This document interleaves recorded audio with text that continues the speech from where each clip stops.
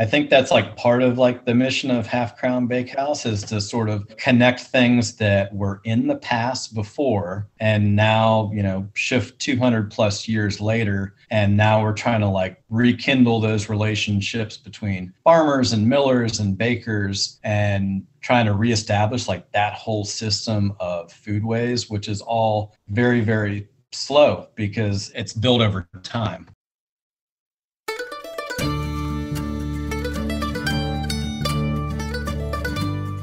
You're listening to the Good Dirt Podcast. This is a place where we dig into the nitty gritty of sustainable living through food, fashion, and lifestyle. And we're your hosts, Mary and Emma Kingsley, the mother and daughter founder team of Lady Farmer. We're sowing seeds of slow living through our community platform, events, and online marketplace. We started this podcast as a means to share the wealth of information and quality conversations that we're having in our world as we dream up and deliver ways for each of us to live into the new paradigm, one that is regenerative, balanced, and whole. We want to put the microphone in front of the voices that need to be heard the most right now the farmers, the dreamers, the designers, and the doers. So come cultivate a better world with us. We're so glad you're here. Now, let's dig in.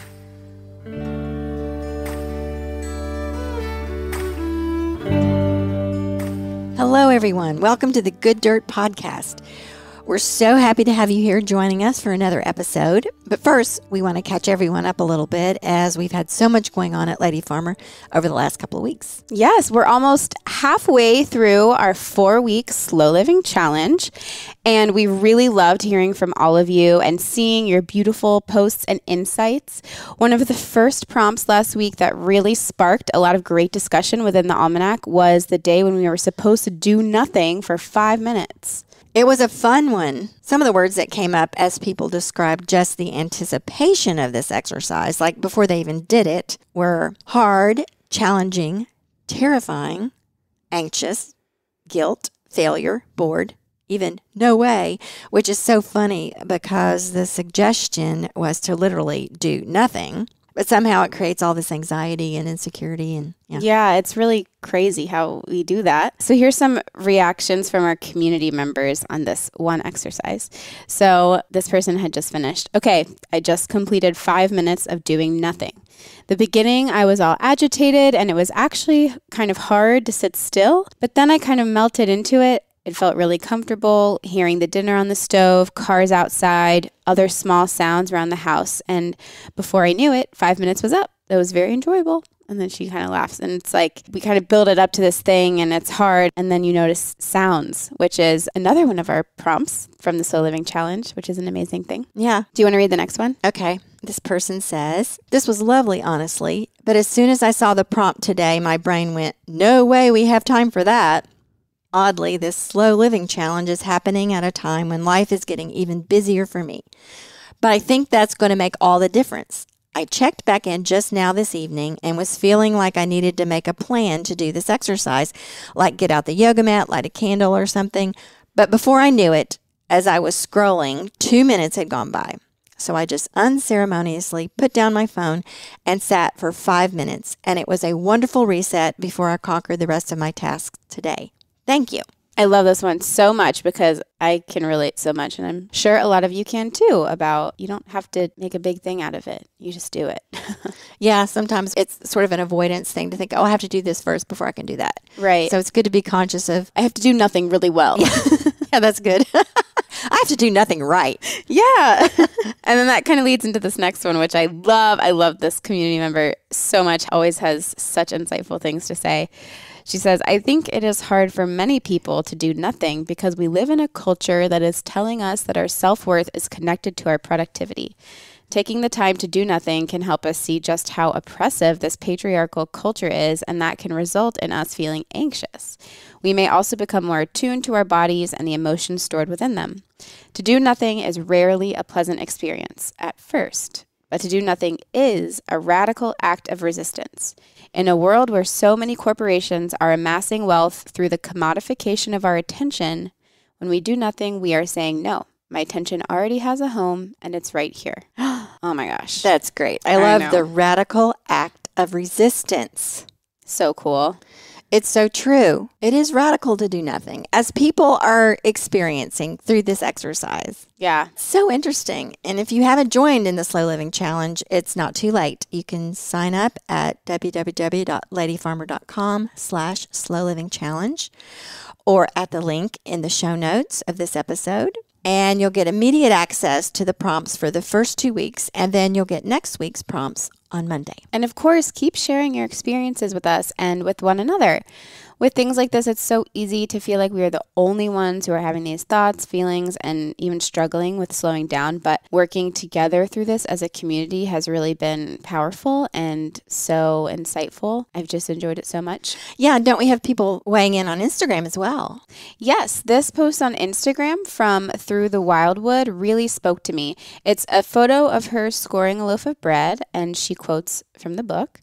The truth is that we have the same amount of time as did our ancestors and grandparents. The difference is in how we choose to spend it. That's from the Lady Farmer Guide to Slow Living, which is available in our marketplace. And Through the Wildwood says, One of my goals this year is to become a better steward of my time so that I am spending it wisely and intentionally instead of letting it fall through the cracks of busy or lazy days. This doesn't mean that I have to always fill my time with something, but rather that I am more deliberate about how I am resting, working, and playing. And then she asks, How are you spending your time this winter? And this caption really spoke to me because it made me think we have agency with our time. It's so easy to feel like we're a victim to time, Yeah. that it's running us over, or that we can't keep up. Or something like that. But yeah, it's like we have agency here. So, Yes. Even though it's easy to think, I don't have time. That's almost a mantra of our culture. right. But guess what? You do have time. Yeah. That's pretty much all we have, right? Yeah. And then in response to the prompt, that was the theme for the first week, which was to acknowledge a slow living practice. We have this beautiful post from Farmhouse Mama, and it also featured a loaf of bread.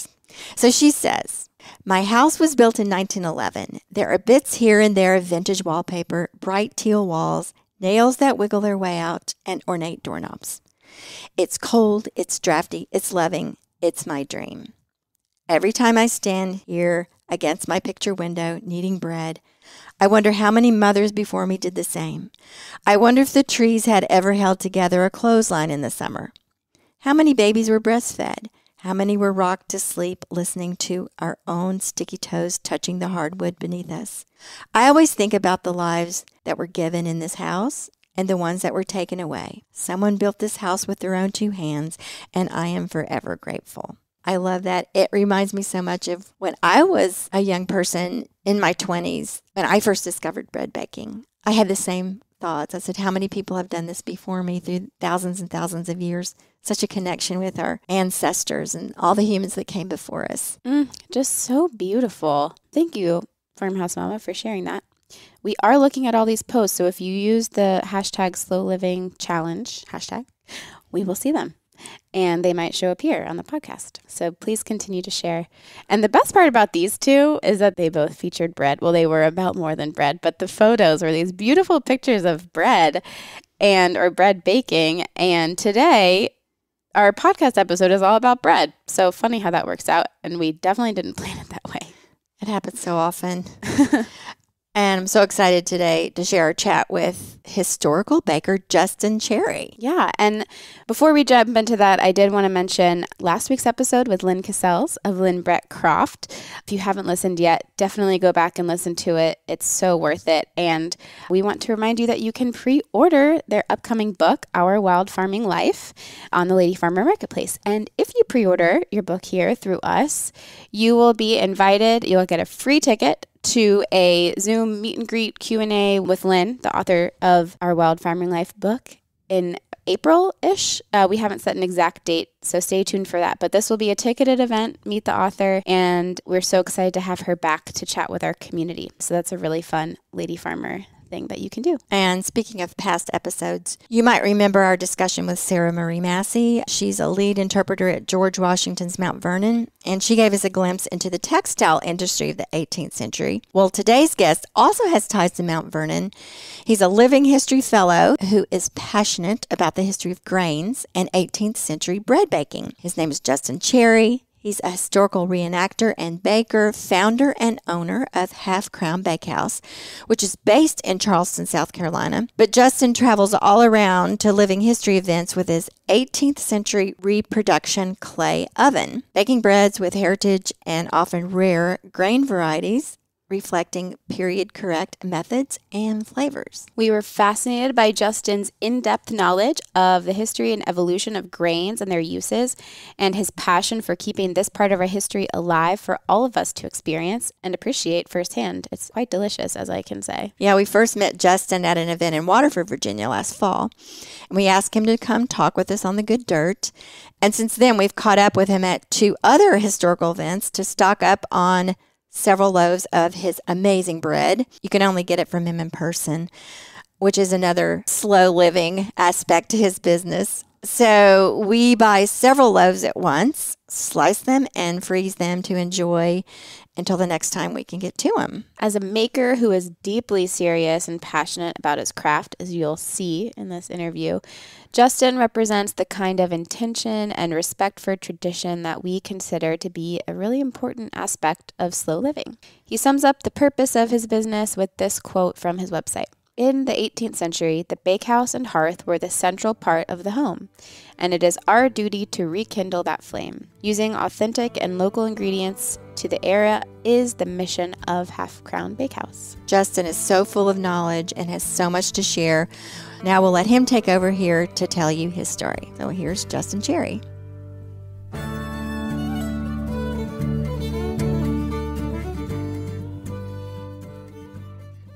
My name is Justin Cherry, and I run Half Crown Bakehouse, which is a mobile 18th century clay oven that travels pretty much to historic sites, historic events, and I also do farmers markets in South Carolina when I'm home. And the whole reason I kind of formed uh, Half Crown Bakehouse is because I had this deep, deep love of working with heritage grains and working with landrace grains, which like landrace are grains that have adapted regionally over time. It's so interesting to work with them now because these, you know, seeds have been saved over time and then geneticists have looked at them and see if they're the same structure as they were, you know, back in the 18th century or even earlier. And now I kind of took that, my love of grains with living history, which I did since I was four years old. So all those things crossed paths at one point or another. And I had a fellowship at Mount Vernon at the library to research foodways of George Washington's life and the 18th century in general. And that kind of scoped out a whole lot of research, which I do during the week when I'm not traveling at events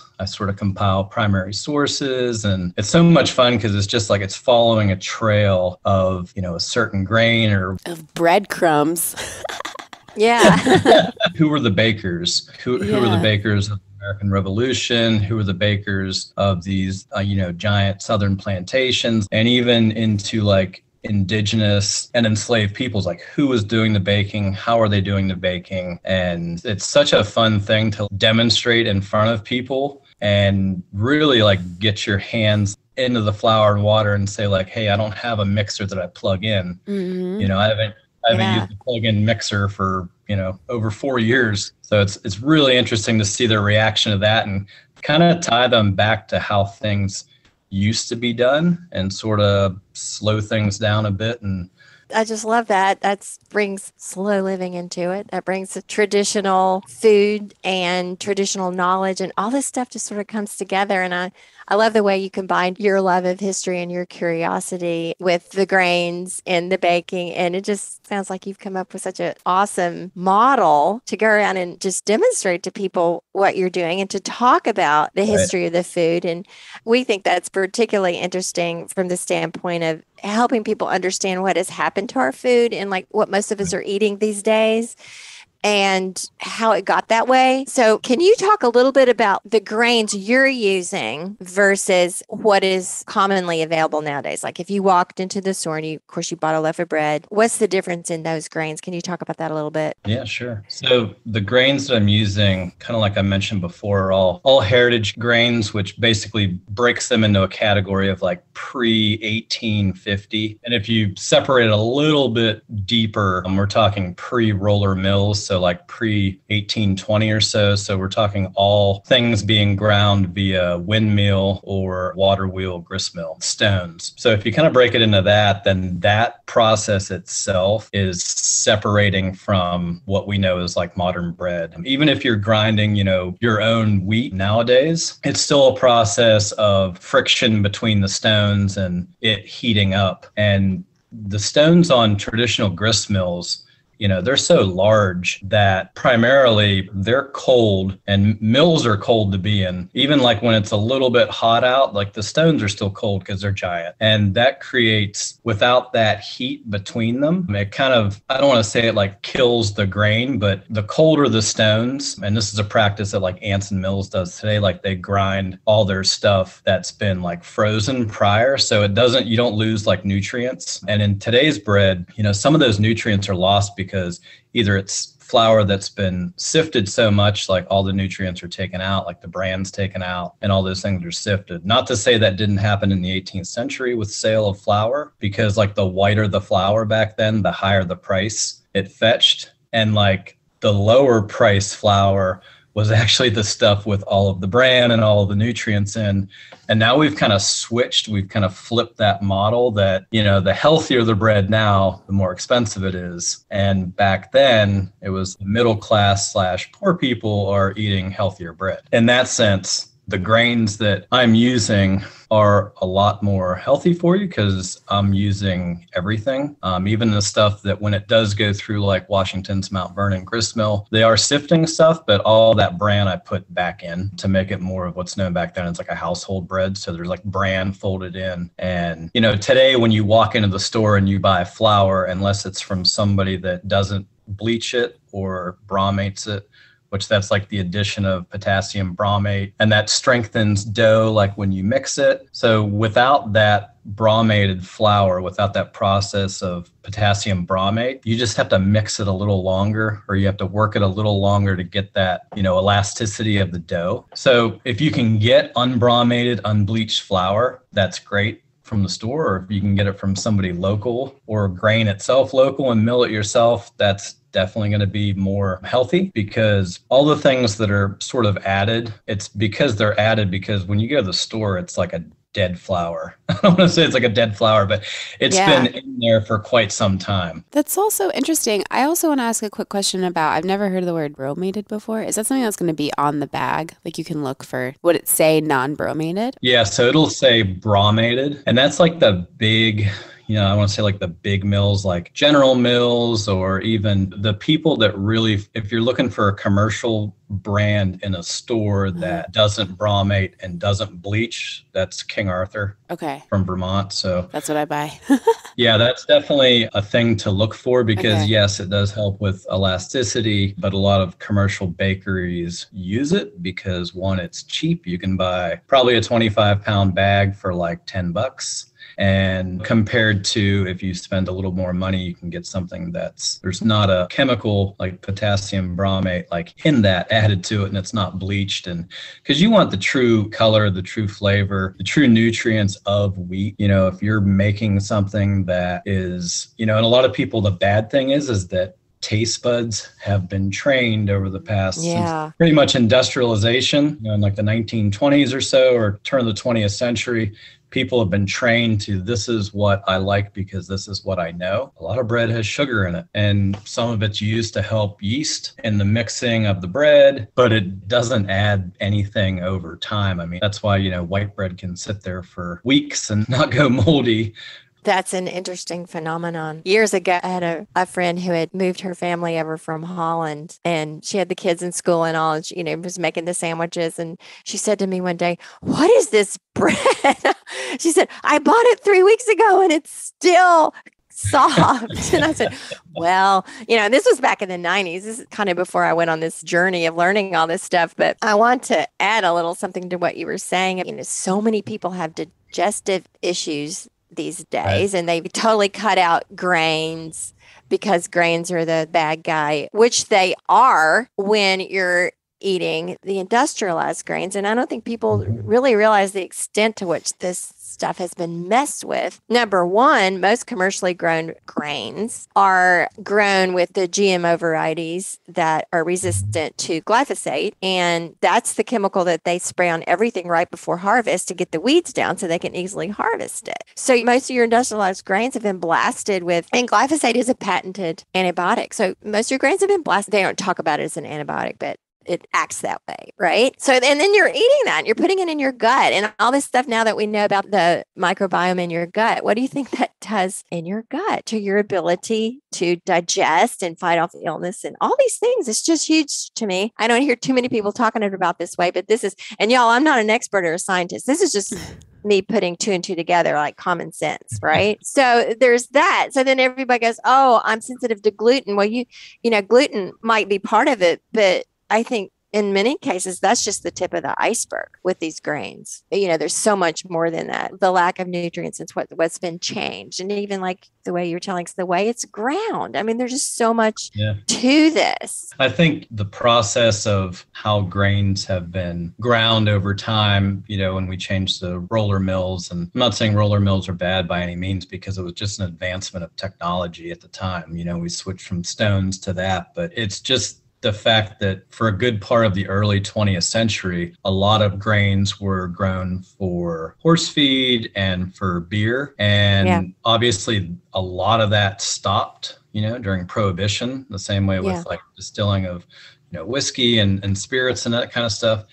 And that's when a lot of the grains were actually lost, is when we stopped doing that. That whole system that kind of changed in the 20th century, it shifted kind of a way of life for a lot of regions. Mm-hmm. So within that, I mean, that change alone shifted the whole vortex of grain use and grain culture. So that's kind of what I speak a little bit about when, you know, I talk about grains and I usually have like a grain board that has all the varieties of grains that I use and a variety of different uses because back then there was, you know, softer wheats you use for cookies and cakes and things like that, and harder wheats used for bread. I mean, people don't even know what barley tastes like anymore, like real barley. And mm-hmm. it's kind of shocking that, you know, when you make something out of barley, they're like, what's that taste I'm getting? What's that like earthiness? It's a little bit bitter, but it's like kind of earthy and it's like barley. Barley now is just you know ground and it's made in the cereal if people know barley they know it from cereal or they know it from like beer. And it's like barley was a giant grain culture in the 18th century. And that's what kind of helped a lot of things expansion move west because, you know, for a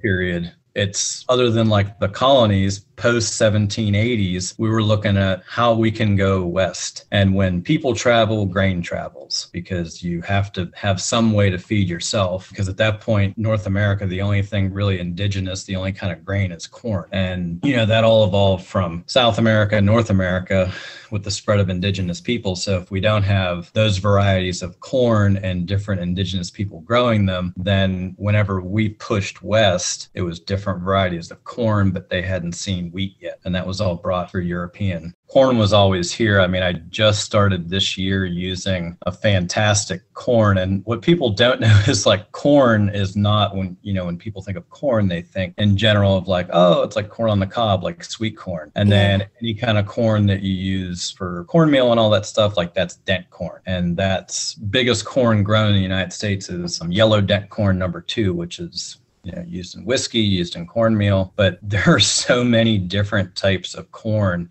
you know, if you go down like into Mexico, there's like 10,000 varieties. And it's astonishing. But I just started using a corn this year in some of my events because it, everywhere I travel, it's sort of different based on the region. So I use the grains that were most popular at that time period in that region. And a lot of the corn back then, it was traded and bought through indigenous people. So I started using this corn that is a project that was started probably about about 15 years ago or so. And it's from the Haudenosaunee people, um, which is like the Iroquois Confederacy. So that covers a variety of indigenous people, such as like the Seneca, and that's like upstate New York and upper Pennsylvania. And they actually do a corn, Iroquois white corn, that their whole project, it's a small group of people that grow it and then they traditionally dry it out and then they grind it. And it's like the most fantastic corn flavor. And this corn variety has been protected kind of by those. It's not really commercially available unless you go there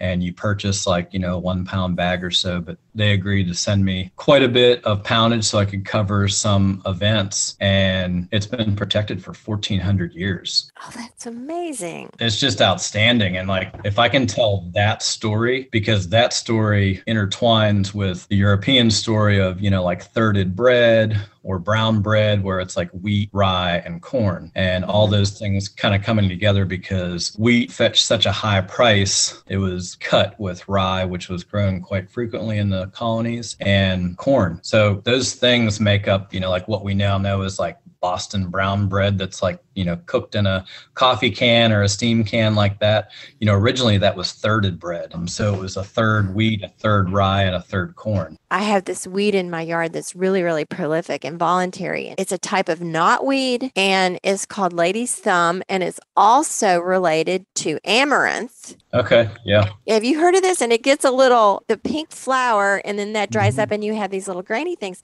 Well, yeah. I ran across, I forget how I even ran across this, but some research from some PhD somewhere says they ate this and it was how a lot of the super early North American people thrived. Have you heard of this? Yeah, amaranth is actually it's a widespread kind of in Virginia. Yeah. Early 17th, 18th century. Like you'll find a lot of records in Williamsburg that document like amaranth and using it. So, you know, that's like one of those wild things. Yes. That was here. It's a weed. Yeah, it's a weed and it's like people were using it because yeah. someone at some point said, "Hey, we can use this" because probably, you know, a lot of that comes along and there's not success with what they're growing. Yeah. Even if they, you know, were trying to grow wheat, they still use amaranth. That's like one of those natural things, just like rye. A lot of people don't know that they probably have an 18th or 19th century variety of rye growing in their regular grass, but they have no idea because it kept on replanting itself over and over and over again. Well, have you seen this pink lady's thumb? Do you know what I'm talking about? It's I do. It's really pretty. It's yeah, very, very pretty. It's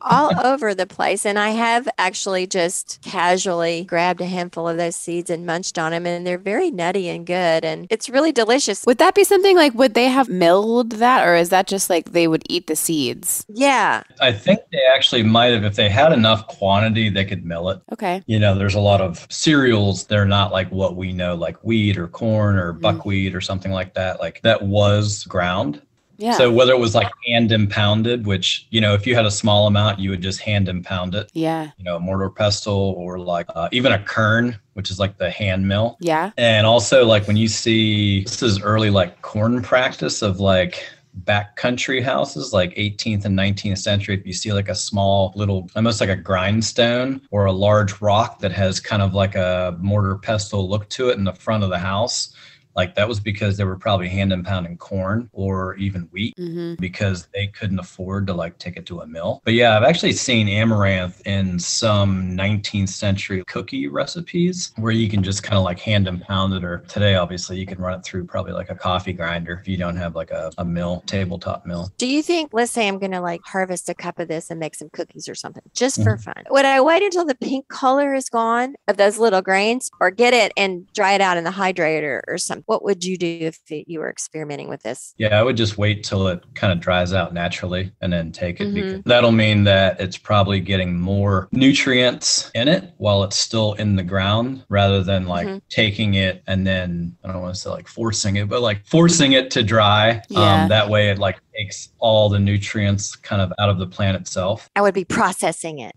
Yeah. Over processing. So you wouldn't believe the amount of this plant that I have to pull out because if I just left it alone, it would be all I had.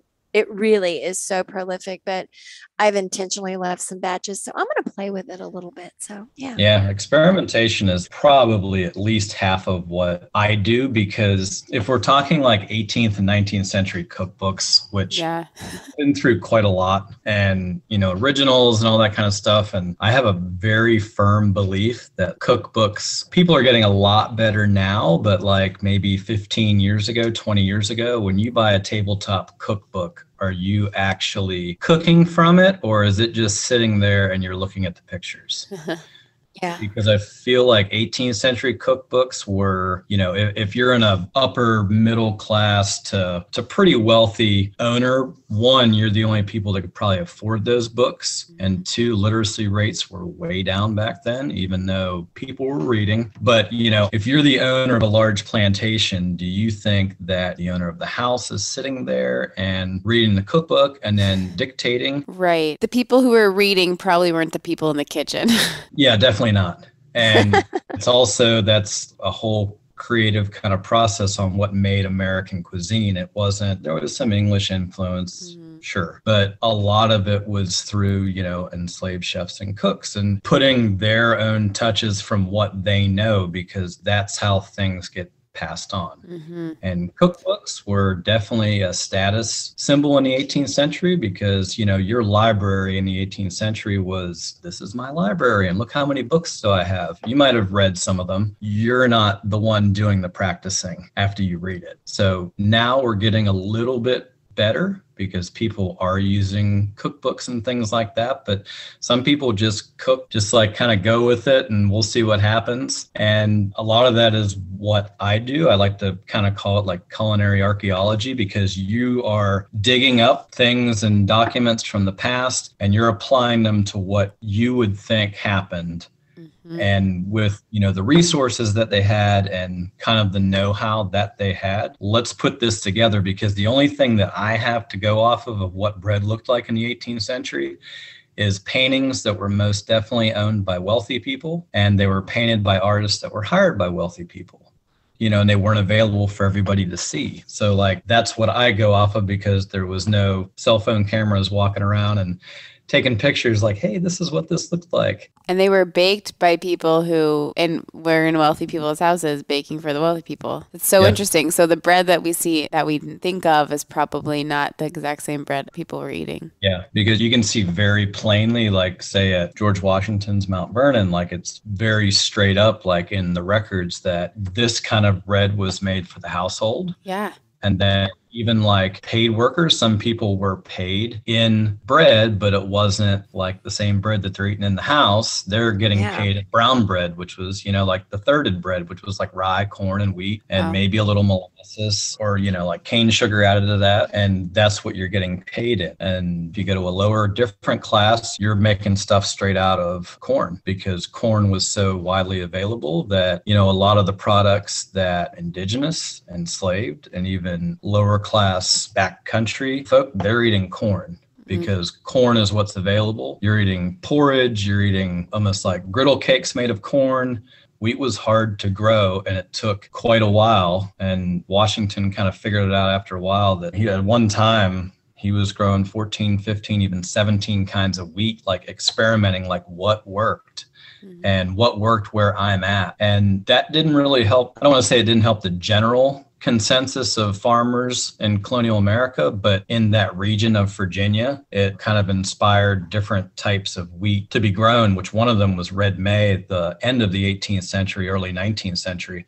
And that's like a flour that we still use today. That's a variety still grown today. And it's kind of a cross, you know, between soft wheat and hard wheat, kind of somewhere in the middle. So, can you tell us a little bit more about your oven, the one that you're currently using and that you mentioned that you travel around with? Yeah. So I actually found the design for this oven when I was doing research in Georgia. Actually, after uh, Glenn Roberts, who runs Anson Mills, probably one of the smartest people that I know about pretty much everything. And he said, you know, you want to know about baking in the South, you need to go to New Ebenezer Settlement, which is in Georgia, about 25 miles northwest of Savannah. New Ebenezer was a settlement that was people from Salzburg called them the Salzburgers, and they came over in the 1730s, and they were sponsored by England. And basically, they were Lutherans that were escaping the Central Europe area, like Germany, Austria, that kind of area, that kind of region. So when they came to America, the first thing they were meant to do was to grow wheat because that's like the first thing you do is you try to grow grain. And they weren't successful the first couple years. And then they moved the settlement like four or five miles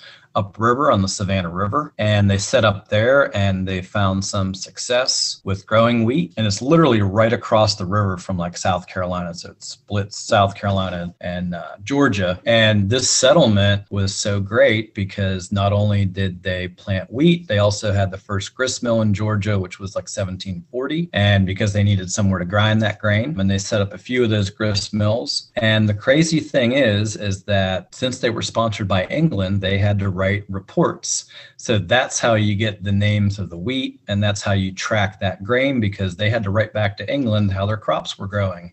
Because the only reason they were sponsored is so they could write back and report, you know, how is this? Like, do we need to send more people there so we can make bigger settlements? And all this wheat, you know, you can't sell all the wheat. So they actually influenced the bread and flour markets of Charleston, which was about an hour and a half away. So they were known as probably the best bakers in the South at the time in the 1740s and 1750s. And their design of ovens, which I found a 19th century description of an 18th century oven. And somebody said, Hey, that looks like one of those old Salzburger ovens. And they said it was built from clay from the Savannah River and then it was packed on the bottom with wood and clay and sort of like that daubing style that you see on like log cabins. Mm-hmm. So it was built up from wood and stone, and then it had a clay oven. And one of them survived into the 19th century after the town went debunked after the revolution. And they wrote about it and they said, oh, it's like five foot deep and it's like four foot wide. I'm like, that's like the description that I need. So I went to a maker of food trucks in Charleston and I said, I want to build an oven, but I don't want to do it like a modern way. I want to take the shell of an oven and then I want to cover it with like clay and mortar and make it look like this old, like Georgia mm-hmm. ovens from the 18th century. So I had it built like on a trailer. And then I had a couple of other people help out with like all the woodwork. A really good friend of mine who does woodwork in Charleston got these awesome like old red oak and like hand hewed them into boards that I cover up the bottom of the oven so it hides the wheels. So it basically looks permanent. Oh, cool. So that's how it kind of like, because a lot of people are like, oh, did you build that like this weekend? And it's like, no, this is kind of what I do for a living. And that would be that would be a lot of effort to build it. A lot of building ovens everywhere you go. so, you know, it made it easier to transport, even though I do get a lot of funny looks on the highway. it weighs three ton and you can bake about a hundred loaves off of one fire before you need to restart that fire. That's amazing. And you're conserving heat, you know, because you're like, you're getting the loaves in there as fast as you can, then you're shutting the door. And then usually the steam from that first batch of bread kind of like preheats it for the second batch. And then the second batch preheats it for the last last batch. So actually, when I start a fire at an event or a historic site for the first time, I never have to start the fire again because I'm just constantly reusing the coals. And then if you think about, you know, 18th century methods of doing things, you can take those leftover ashes and you can make a variety of things. You can actually make lye from it. So then you're you can make soap or you can also use that lye and put hominy corn in it to rinse the hull of the corn off there before you cook hominy. So there's a variety of uses of all these coals, like kind of over time. And then the thing that I like to do is at the end of a event, um, like even after this weekend, I'll take all the coals, cold or not, and I'll shove them in my oven, and then I'll take all of my cast iron or wrought iron original stuff that I use to cook and or display. I'll put it in my oven and close the door and it'll reseason my pans while I travel. Oh my gosh. So you'll do an oven firing for an entire weekend event or do you have to fire it every day? That you're once it's fired, does it last the whole weekend? Yeah, so I'll start the fire first and then yeah time I pull out the ashes, I'll re-add those hot ashes back in. So I only have to really start it once. So when do you do all the mixing? Do you show up to these events with your stuff already mixed up? Everything takes place on site, all that kind of mm-hmm. stuff. It also depends on the weather because I'm mixing outside everywhere I go. Yeah. If it's cold, what do you do? It's cold, use warmer water. okay. And how do you keep it warm so it can proof? Because that would be just like putting it in the refrigerator that could stop it for days. Yeah, so the box itself, the dough box, it's like the greatest tool that nobody ever uses anymore because oh. you know when you use dough boxes now if you go to an antique store like they're selling it as like a magazine you know place to store your magazines or old pictures or you know stuff like that or they repaint them and the thing with the dough box is is you know it has a lid so as soon as you get warm water in there to combine mm-hmm. with like your natural levain or leftover dough or barm as soon as you add warm water to that that temperature is not going anywhere anytime soon especially since like dough boxes were kept usually next to the hearth or next to a fire so they would never really go completely cold. And even actually one of the best events for like baking bread i mean the colder the event the better for me because people want it. Well people want it and i don't want it to be so warm that it speeds up my process. Yeah this type of baking bread and just everything about the process is much slower. And I'm interested in what you think about slow living and what slow living means to you. You know, I think slow living, honestly, is like returning to traditions that like didn't quite, you know, some some of them get did get passed down, but I think there's like literally a slow return to slower living, more traditional things because, you know, one, there's an interest in history and everybody likes a story that goes along with something but the way that they were cooking and baking and living as a whole i mean people are like oh well they had you know all this time it's like yeah because you either had a trade or you didn't and you just provided for your family so you weren't wasting time on a cell phone or you weren't there wasn't extra time to be doing things because you were doing everything all day to live that day. And then the next day, it just started over again. And, you know, I think that way of thinking in general is just better. And also, I'm like a strong believer in like the original, like historic trades. Like now, everybody wants to do everything. And it's fine if you're like, you know, off grid or like, you know, homesteading because that's kind of a thing all of itself. But it's why I don't mill my own grain because if I milled my grain, then what does the miller do? Yeah. Like I'm taking away a job. And it's not to say like, you know, if you're like baking at home and you're grinding your own grain, that's a little different because you're only grinding for you and you're only, you know, making bread for you and maybe your household or a couple other people. If I'm trying to provide bread for people to purchase from all the places that I travel, if I don't have a miller, if I take that job away, one, I really don't have time to do all the milling from the amount of flour that I go through. But two, like you're taking up a position that it's not what you do. Like I'm a baker and, you know, I know millers mm-hmm. and we're friends. And that relationship is like part of the greater whole system of the foodways system. It's a lifeways system. And if I take away his job, then what does he do now?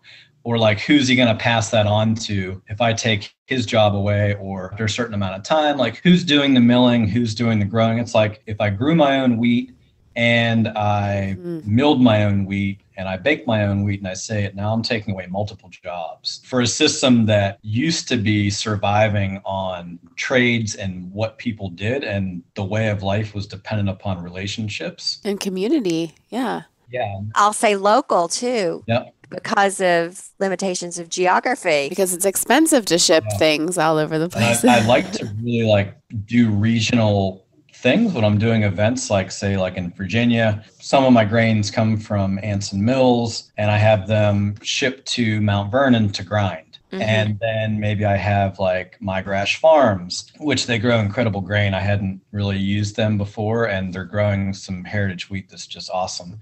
And you know they're not too far away from Mount Vernon, so they yeah. came to Mount Vernon and they dropped off the grain, and then they saw like a traditional mill like work. Now I feel like I've kind of connected those two places, which is awesome because now it's like, oh, cool, like they're friends now. And maybe, you know, in the future, like Migrash Farms, like hey, we have this seed that we can get. Like, do you guys want to grow it? Because that would be awesome because I can use it regionally. And if I can use a bunch of regional farms in the events, one, I don't have to carry a bunch of flour with me. Yeah. I can kind of not pack that and just like, hey, just bring it down to Mount Vernon and grind it.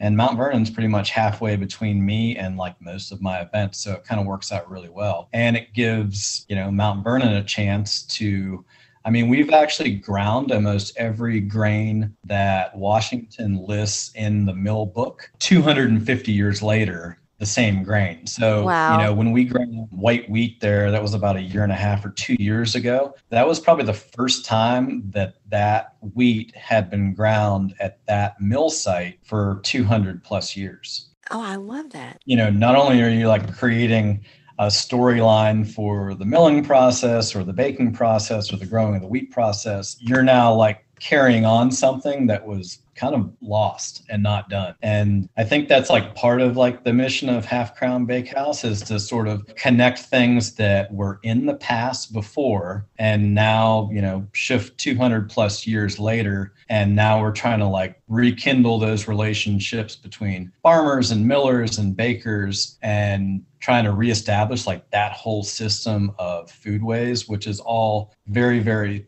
slow because it's built over time which is awesome. So I use the migrash flours myself. I have them delivered to my house. I discovered them back at the beginning of COVID. Like everybody else, I wanted to be baking a lot of bread. So that's an exciting connection too. And you know, we're between, I guess, Mount Vernon and Migrash. We're probably about halfway between those 2 where Mhm. we are. But uh, yeah, it's all a wonderful community thing, and the connections are just magical once it starts happening. We found that so often on this podcast, and it's just it's just so great. So, Justin, what does the good dirt mean to you? So, a lot of what I work with and depend upon has to start with soil, literally. I mean, it has to start with like good dirt, and a lot of it depends on the regionality of it and the terroir, so to speak, of the hmm. grain and how actually it has changed over 250 years, which is dramatic in some places. If you're in like Virginia area, it has changed quite a bit, but I think you can't grow anything good if it doesn't start with good dirt. I mean, I'm not a farmer, like I said, but I know that if you don't have good dirt, you don't really have anything because you can't grow anything, which growing things depends on what I do. And Mhm. if you think about it as a whole, it depends on a lot of what people do is based upon dirt Yeah. and what's grown over centuries, really. So it's kind of like a full circle thing for me. If you don't have that, you don't really have anything. awesome. That's great. I love that. If you don't have good dirt, you don't really have anything.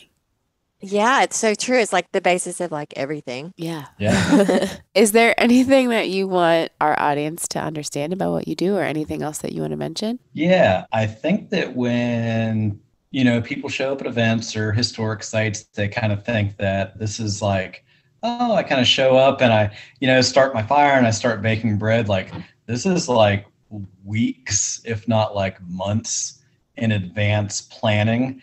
I mean, honestly, I really don't know what I'm going to make until like probably a week before. I'm baking like this weekend at Mount Vernon. So I, I'm like throwing together what I'm making depending on the grains that I have. So I take a look at my grains and see what I'm going to make. But, you know, I think in general, there's so much effort and work, which really lucky to have uh, my parents who sometimes travel with me. My mom helps a lot because she is like the person that runs the actual bake house like tent. I'm usually by the oven and she's usually explaining all the grains and things like that inside the tent. And my parents both have been like retired for a little bit now. So out of retirement into uh, helping me a little bit. Wow. And like my dad comes along and he chops wood and he's kind of like that's like, hey, I need I need some more pork butter from the cooler or whatever.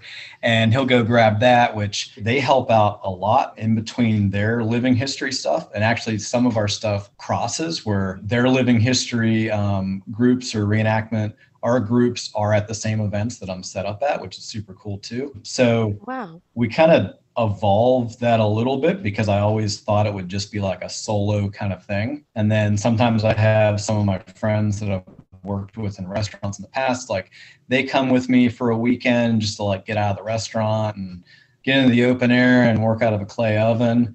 But it is like a it's a ton of work because there's so many people involved that like nobody really sees when they show up at an event. It's like, oh, like you guys were always here. Yeah. It's like setting up and having a grand opening at some place every single event that we go to because sometimes they're very new like waterford and sometimes they're places that we've gone for since the beginning which is like mount vernon. You know it's not like working in a commercial bakery. You're outside you're like in kind of like historic places that you know if you're baking like and my baking hours are like so weird because like during the day when i'm serving at like an event like heating up slices of bread or selling loaves like it took me six hours to get to that point. So that means i was probably up at 2 a.m Oh my goodness. or maybe didn't go to sleep at all just kind of like baked throughout the day into the night. And until you've seen like mount vernon at like 1 a.m with like the moon over top of it like in november it's such a cool thing to be having a business like having a small business where you have the opportunity to like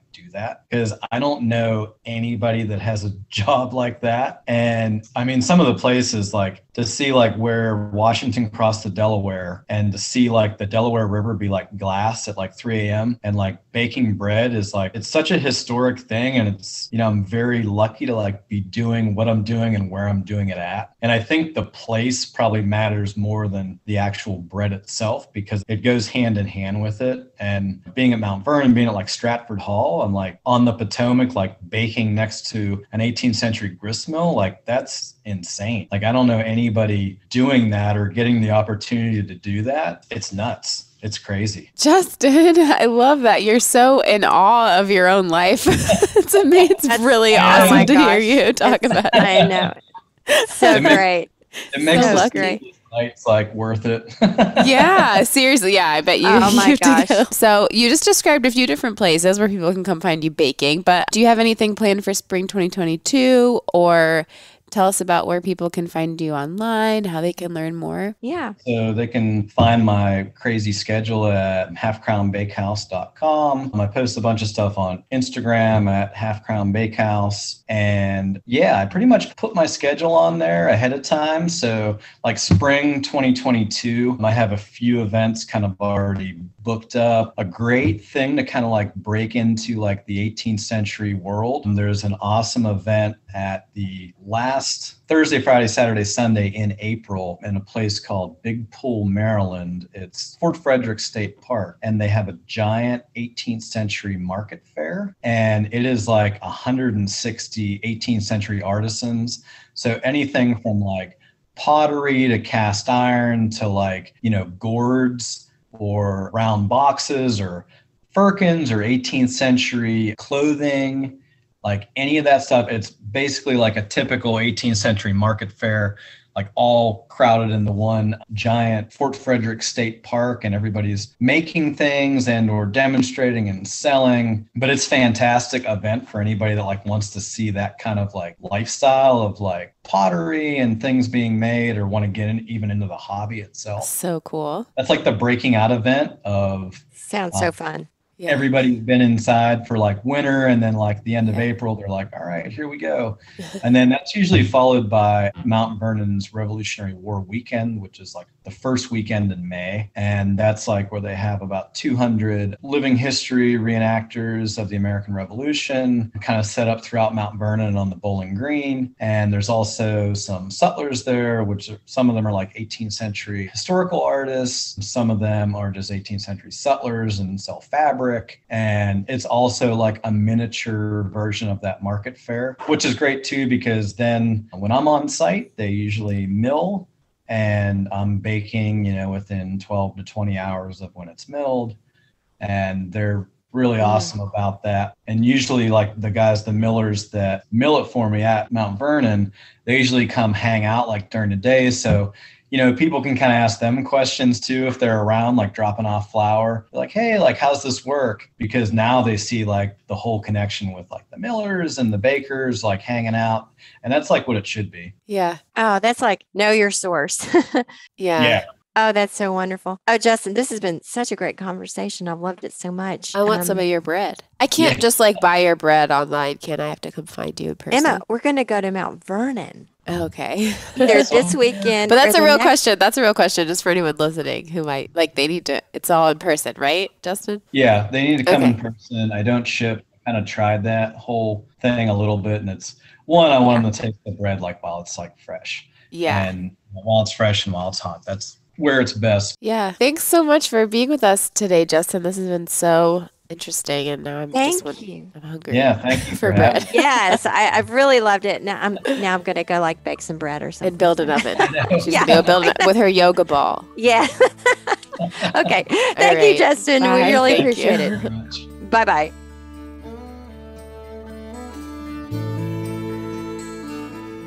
Thanks so much, Justin. What a great conversation. It's so interesting. And if you're listening here and you live on the East Coast, check out Justin's website at halfcrownbakehouse.com. And there he has a schedule of where he's going to be over the next several months. And if you live near any of these places, we recommend that you go check him out and get some of his wonderful bread now that you know the whole story. And speaking from personal experience, go to his table early and first. Yeah. Because he does Wow, run The lines or something. Yeah. Yes. So thank you so much for tuning into this conversation today and every Friday if you're a regular. Continue to share your slow living stories with us using the hashtag slow living challenge. And it's not too late to join the challenge if you are not getting the emails yet. Just sign up at our website. We have that linked in the show notes as well. And don't forget to pre order Our Wild Farming Life from the Lady Farmer Marketplace. It is the book by Lynn Cassels from our interview last week. If you haven't listened yet, definitely worth tuning in to that conversation. And if you pre-order from our website, remember that you get a free ticket to our Meet the Author Q&A Zoom gathering that will happen at some point in April. Date to be announced. That's going to be so fun. Yeah, we love Lynn. We can't wait to chat with her again and for all of you guys to meet her. So Thank you so much for being here and tune in next week and every Friday morning for more awesome, good dirt interviews. See you guys next week.